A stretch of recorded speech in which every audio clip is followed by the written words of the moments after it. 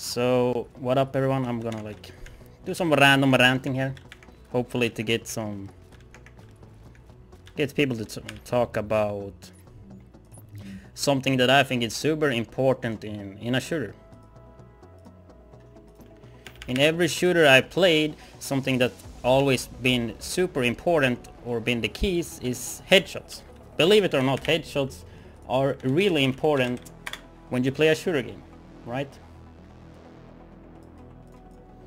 Think most of you guys know that. But currently in Division, I, I feel like the headshots, it's barely rewarding anymore without automatic weapon. And it's pretty hard to pull it off. Because you can see this hip fire, you can see it's pretty damn big. But I mean you can see the hip fire is so big so for me to hit every shot when I like when I aim for the head it would have been so easier if I had like a small dot on OBS.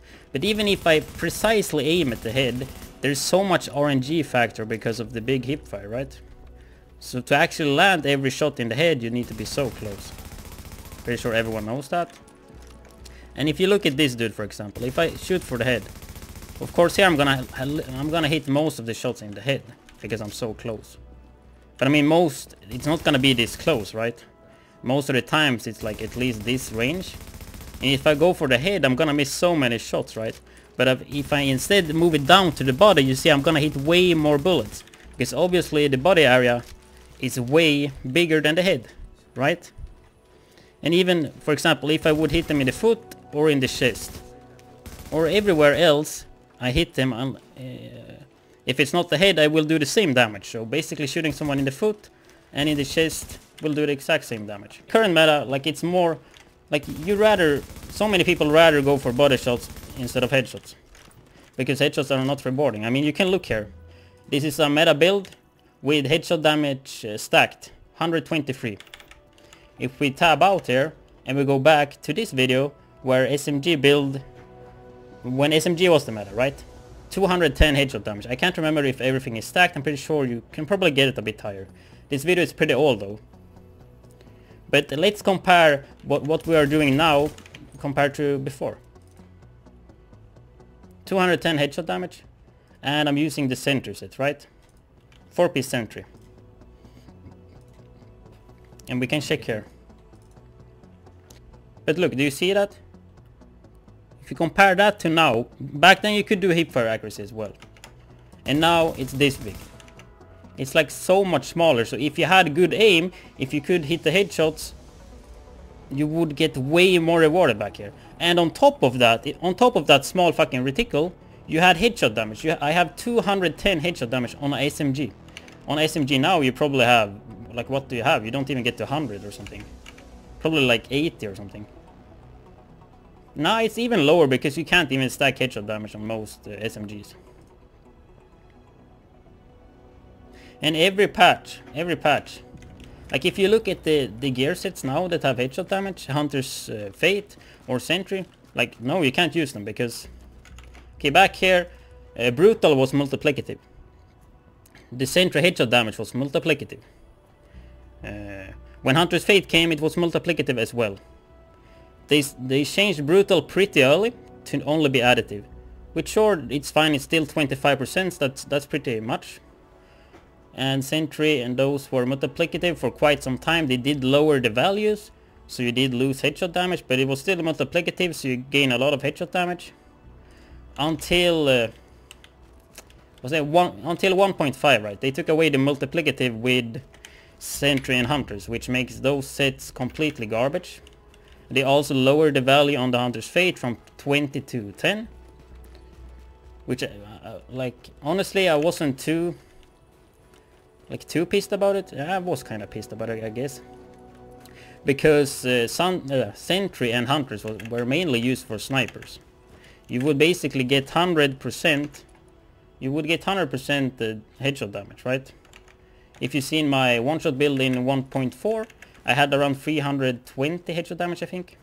And if you would do the same build now, you would probably have like 200 or something, 220. So you gain 100 headshot damage. But nope, they decided to take away the multiplicative, so sniper builds would be worse. Because back then they had a problem with shotguns, which are kinda soulmate because they nerfed them to the ground. As I said before, every shooter game I played, headshots are always rewarding. Sure, in this, sure, it's still, if you ADS, it's pretty rewarding, but if you ADS, you will become much easier target. So that's why it's always hip firing. And if they decided to nerf the hip fire just like a little bit, like sure it's a pretty big nerf if you look at it, but the big the thing is the hipfire nerf is not enough, so people will still do it. And since hipfire is still the thing, and the hipfire is just way bigger than before, like it just adds more RNG, which I think is stupid. Like it should never be in a fucking shooter game that you would go for like that people feel like it's better to to go for the body instead of shooting for the head when you hipfire for example and you can't ADS against someone that hipfire if you're uh, the same equal skill and you don't have any buffs, like you're gonna get wrecked every time. So that's why I think either they should bring back hip fire to what it used to be, which in my opinion kinda doesn't make sense for a game that's supposed to be a cover-based shooter. But at least here it's less RNG and like aim matters way more. Instead of this fucking huge hipfire. So what they can do then is to either bring it back, which I would probably be the most happiest with, but honestly just fucking make hipfire trash. Like make it completely garbage so you would never really use it. Like they need to make ADS stronger than hipfire. But then I feel like, yeah, it's gonna be even less skill ceiling in the game. And I, st I still can't believe that headshot damage in a shooter game like no one goes really for headshot damage on a gear set. Like even in 1.5, or 1.4. No one went for headshot damage. Unless you played a one-shot build. Like, I don't understand. In my opinion, headshot damage should be the thing to go if you have the aim for it. But in this game, it's not. Like, you, you rather go out of cover damage. You rather go flat damage. Like, it's not just... It's, it's not enough rewarding, dude.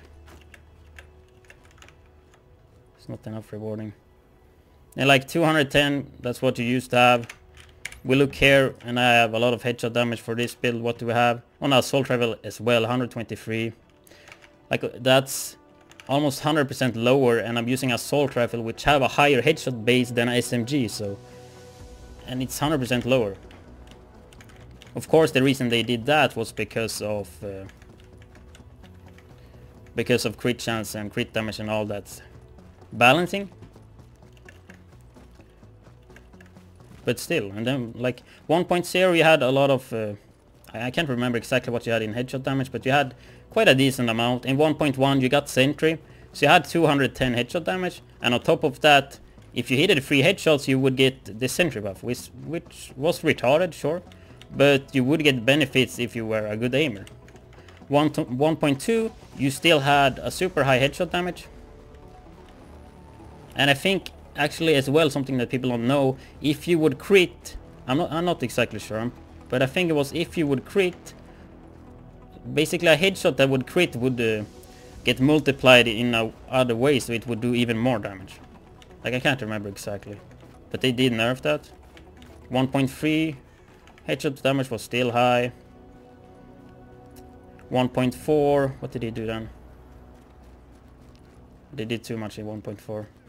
Cent uh, HM was still multiplicative. People didn't really use Sentry or Hunter's Fate unless you played a sniper or shotgun build.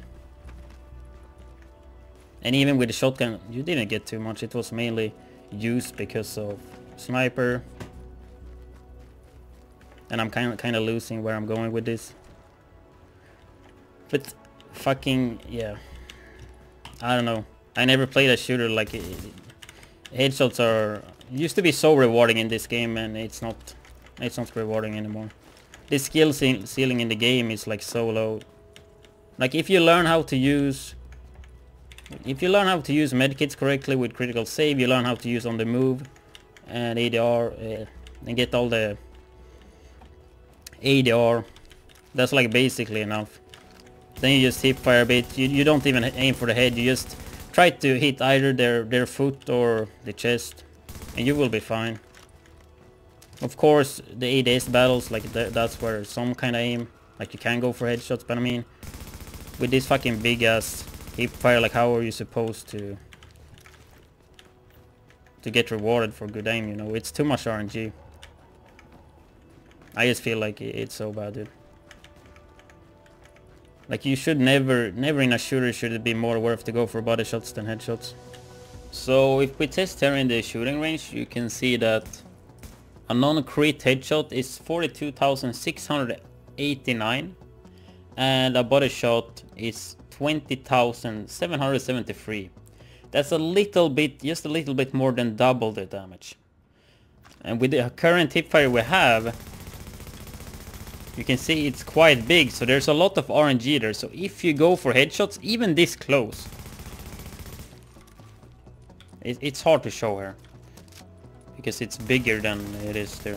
But even this close, it's gonna be a lot of RNG that will make you miss the head and shoot outside of the head.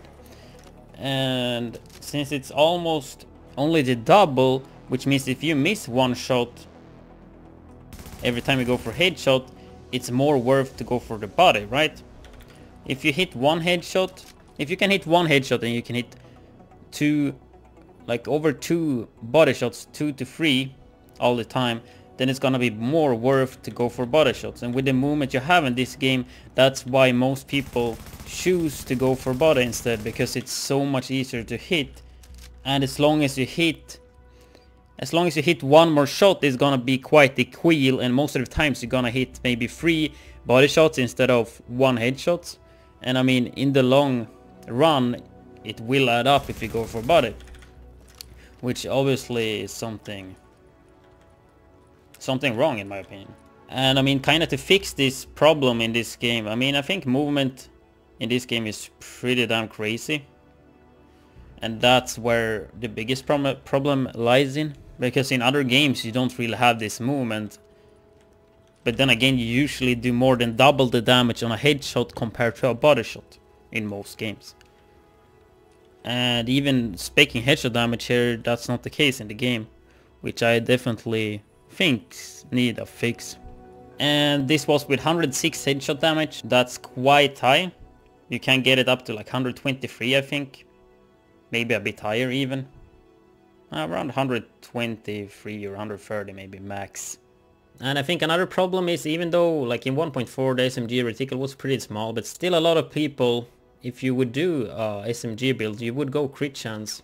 You would stack crit chance and crit damage instead of headshot damage, which I, which I think is a problem as well. And I mean, a part of the problem I think is that you get crit damage on the SMG, which, which I think is pretty stupid. I talked about it quite a, a, lot of times on stream that I think it would make more sense that SMG would have the LMG talent, the damage out of cover would make more sense on SMG and LMG should get another talent. I heard people talk about that you would gain more damage if you sit in cover with the LMG, which would kind of make sense, but I would rather want to see uh, more damage when you ADS your LMG, which I still think makes sense and you would not get too restricted and that would also take away hipfire from LMGs. So I mean that's something I would like to see. But then again, as I talked about people uh, stacking crit chance, crit, crit damage instead of headshot damage, I think to take that away, if you... I mean, I would be pretty fine if you would only be able to crit on headshots.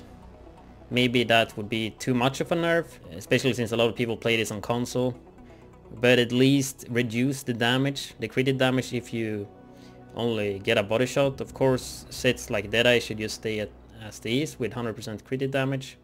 But if you go for body shots, it, you would get like 50% less damage or something like that. To kind of force people to, yeah, just to make headshots more rewarding. That's what I want to see.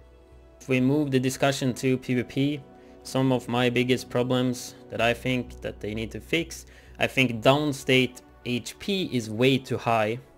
But honestly, I think we should take away revive in PvP. In survival, you should not be able to to revive yourself. I think I think that makes it destroys the mode a lot, especially in PvP encounters. So many times I sniped some guy or just had a medium range fight, which I really I really really like those fights. But then I tried to rush him and I can't finish him off and he just get the revive. Which is pretty dumb in my opinion. So, and I think like taking away the opportunity to rest yourself would make the game more more more of a cover-based shooter because you can't rest yourself. You can't get rest by a teammate, so you you would have to play it more tactical.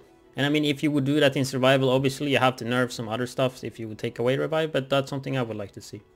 That would make snipers stronger, and like snipers are barely used anymore. Of, especially after the nerf to headshot damage on sentry and hunters, which doesn't make sense. I would like them to bring back multiplicative headshot damage on that, because it benefits snipers the most, and they nerf the base damage on the shotgun, so even if it's multiplicative, you, you barely, like, I don't even think, like it's same as it would be additive on the headshot damage on a shotgun, and shotguns are not a problem anymore, so I mean, bring back multiplicative headshot damage for those two sets to make sniping more of a thing. You should not be forced to go alpha bridge to get some provident and do that shit that I've done. And I mean, take that away, like, you, what do you do then? You go high-end build? Like, you can't even one-shot. Even though you go 9000 firearms, and have everything like perfect, you can't one-shot uh, a meta build. Which you should be able to do if you invest that much into firearms and damage. It's just crazy that, that you can't do that. Like with a bolt action sniper, it requires a lot of skill to, to get headshots. So I think that should be rewarding if you decide to play that. And obviously I think Seeker Mines are too strong. Like people complain about me using Alpha Bridge sniper build with Provident which is still in the game. So I mean, it's there to use, it's just smart use of mechanics. But then you look at a Seeker Mine build that still one-shots a 500k toughness and you don't have to aim. You just put it down. Sure, it's easy to, to counter, it's really easy to counter, but it doesn't require any skill at all. Because you don't aim it. Sure, you can toss it smart, but that's about it. And on top of that, grenades, too much damage, I think. Most of the grenades are fine, but I mean, a grenade should not do like one like half your HP. If you have 500k toughness, you will get bleeded, you will get staggered. I think that's enough. You should not take half half of your damage when you have 500k toughness. Should be like not even more, like less than a segment. Because bleeding and stagger should be what is good with it. Or they, or if they want to keep it like this, then they have to have a higher cooldown on grenades. Like you can spam them too much.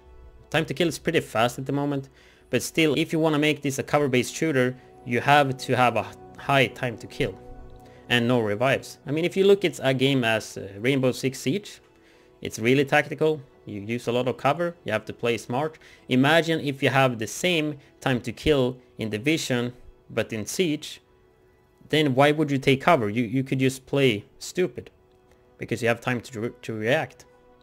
Imagine that time to kill in Division then you would actually have to use the cover. Obviously that time to kill would be way too fast, but the faster time to kill, the more cover based it could be because you have to play smart. I don't think that's the right way to do it though, but definitely it, it should get increased. It should definitely be faster, but not too fast, just a little bit. And I think a good solution I mean, I played a lot of H1Z1 recently, and I mean, if healing would actually be over time instead of instant, imagine if all the healing would be heal over time. Then you would actually be forced to play, take more covers. Medkits, instant heal. Self-hit heal, instant heal. Imagine if you use a medkit and it heals you over time. Then you actually have to play way more careful, and you actually have to use the cover. Same with the self-hit heal, if it's heal over time instead of instant that would provide that that would force you into cover or at least avoid battle and something else in this game it's too much status effects which in my opinion makes the gameplay really boring. Like being on fire being bleeded and all that time all like all the time it's really boring. Like the skills take over the gameplay. It's too little gunplay. I mean skills should be there to help you but you should not depend on them. I mean, unless you have a skill power build, but then, like, the thing is, for example, Seeker Mines now, it's way more efficient or it's way it's a way better skill if you play it in a Alpha Bridge meta build instead of going full hand with the damage. It works way better if you don't invest any skill power. It still do a lot of damage, it still put the bleed on them and staggers. And on top of that you have a really good build, that like that's when it works the best. And it's doing too much in my opinion. Sure, in a perfect scenario, if you do a 1v1 or you actually 4v4, then sure, it's not the biggest problem. But since the only PvP we have, are in Dark Zone and I'm most of the time rogue because I think that's more of a challenge, you play against the whole server a lot of times, like two, three, four groups, and usually we're not even four. We usually, usually, like recently, I just mainly done duo. In having four, playing against four, five, six players with Seeker Mines, like there's too many. You, you can't shoot them all. And another big problem in the game, I think, the skill ceiling is way too low. Basically, if you learn how to use critical save on the move and booster shot, like just spam that ADR up, you will be fine. The aim doesn't really matter too much in the game, as I talked about before. If you know how to hip fire and go for the body, you will do fine. Of course, there's somewhat a little bit difference, but if you have really good aim and play against someone with really bad aim, it's it's not as big of a uh, change, you know. That obviously needs needs to be needs to be more rewarding if you have good aim in a shooter, obviously. I mean, if we compare this game to H1Z1 uh, Division is supposed to be a cover-based shooter. Obviously, it's not too much in PvP. You use cover, of course, a lot of times you do that, but most of the times you don't really. Uh, H1Z1, you use covered a lot because you have no instant heals. All the healing is healing over time. And most of the battles are with ADS. So you try to abuse cover. And the time to kill is obviously way way faster. It's really fast time to kill in that game. And for example, and the armor you have in H1Z1, it doesn't add any mitigation for every bullet. You do, like, for example, you would take one or two more bullets, but it's not like Division where you get a 60% mitigation for every bullet. I think the way the armor works in Division is obviously not working, as we known for a long time. But I just thought I would make a video about this. I know a lot of people have asked me to do one about PvP, and yeah I de dedicated a lot of this video to headshot damage because I think that is one of the one of the biggest problems. Because the skill ceiling in division is is not that high. You barely get rewarded for good aim anymore and seeing that headshot damage get nerfed patch over patch kind of makes me frustrated. I really hope uh, this video actually brings up the headshot damage and other things I mentioned in the video because especially headshot damage I don't hear anyone else talking about it and I think it's such a crucial point in a shooter game and I'm not the biggest fan of making videos like this so but uh, but I really took the time to make it because I think it's important for the game especially now when we get the structured PvP I would be interested to hear what you guys think about the current PvP and headshots in this game because I, I feel like it's not rewarding enough the aim is not rewarding enough and obviously I play this game on PC, so I it, it, it, definitely works different on the console, but yeah. Hope you guys enjoyed. Have a nice day. Thank you for watching. I hope you enjoyed the video. I do daily division videos, all from gameplay to guides, highlights, build videos. And if that's not enough, you can find me streaming daily on twitch.tv slash widdz. Have a nice day.